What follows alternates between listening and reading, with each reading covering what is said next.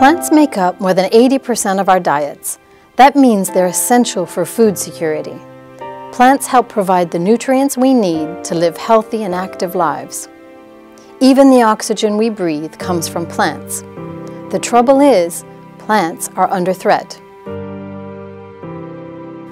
The fight to save plants from a pest and disease is a historic one. According to the book of Exodus in biblical times, a swarm of locusts ravaged all forms of vegetation, leaving nothing green in Egypt. In ancient Greece, Theophrastus, who's considered the father of botany, wrote about the vulnerability of plants to pests and diseases. 2,000 years later, in the 1860s, phylloxera, an aphid-like insect, devastated French vineyards.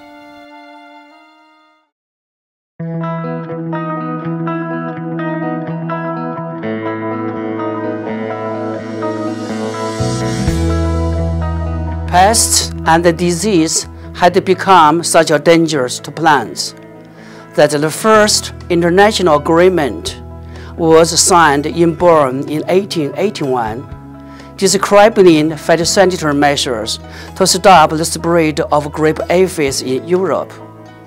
In 1929, the first International Convention for Plant Protection was developed and signed in Rome.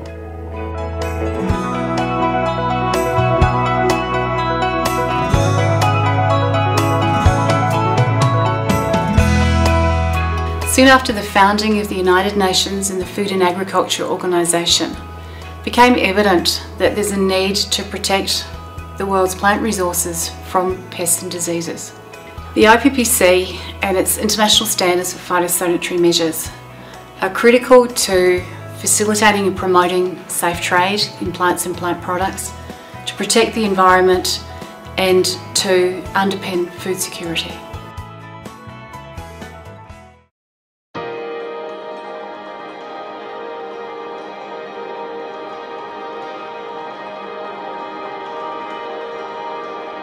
As the world become more and more interconnected, and the opportunity for pest and disease movement increased.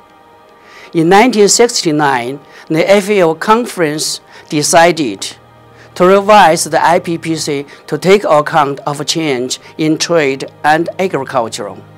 In 1992, the IPPC Secretariat was established.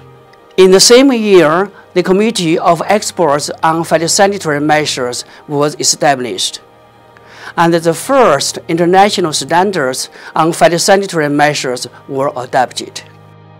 In 1995, the World Trade Organization Sanitary and Phytosanitary Agreement established new trade rules and recognized the IPPC as the technical standard-setting organization for plant health.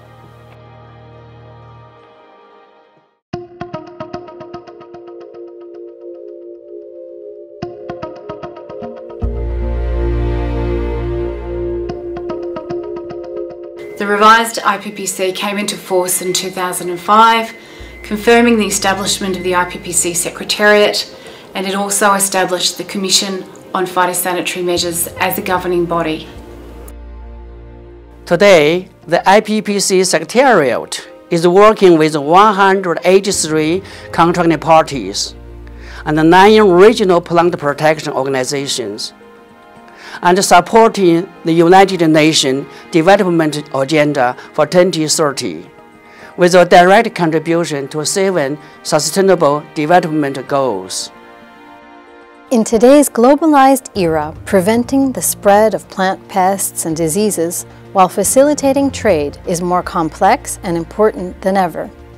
As the movement of people and goods increases, pests can cross borders and spread to new areas Climate change is also making plants more vulnerable to attack.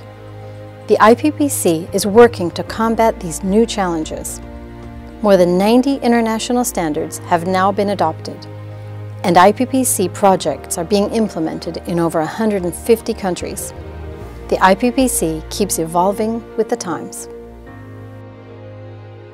IPPC, protecting the world's plant resources from.